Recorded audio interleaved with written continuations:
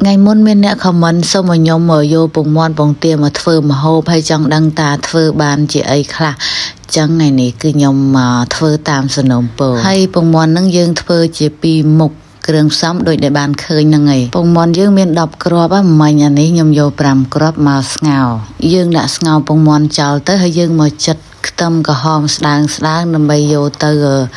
ពពងវាចិត្តហើយហើយឥឡូវយើងដាក់ពពងវាមកទៅតាមពិតខ្ទឹមក្រហមហ្នឹងបើយើងទិញគេស្រាប់ក៏ស្រួលដែរមិនបាច់ធ្វើតែនេះខ្ញុំខ្ជិលទិញចង់ធ្វើ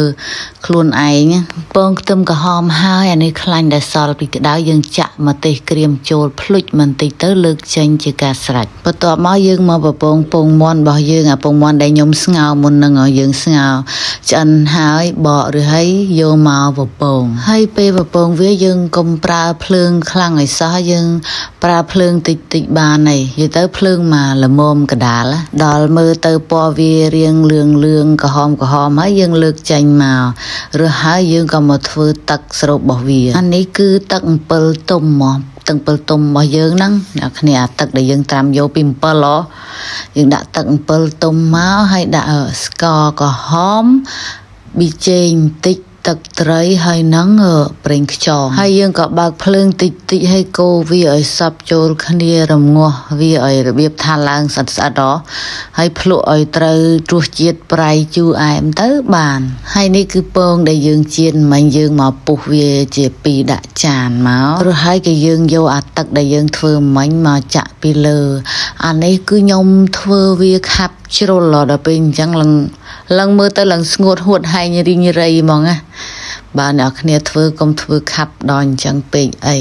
ប៉ុន្តែរសជាតិអត់អីរសជាតិត្រូវឲ្យក្រវារៀងខាប់ពេកហើយយើងគឺយកអាខ្ទឹមបំពងនិងម្ទេសដែលយើងបំពងនោះយកមករោយពីលើមកហើយដាក់អាជីនឹងពីលើតិចទៅមើលទៅលយកប់ហើយអា5គ្រាប់ទៀតនេះគឺយើងយកវាមកចៀនយើងប្រើភ្លើងតិចតិចបានហើយហើយចៀនវាឲ្យក្រៀមផង យើងចៀនពងមាន់ហើយហើយឥឡូវយើងមកហាន់បន្លែរបស់យើងម្ដងបន្លែវាមានខ្ទឹមបារាំងពេញប៉ោះពេញប៉ោះដាក់តូចក្បាលធំក៏បានតែយើងចូលចិត្ត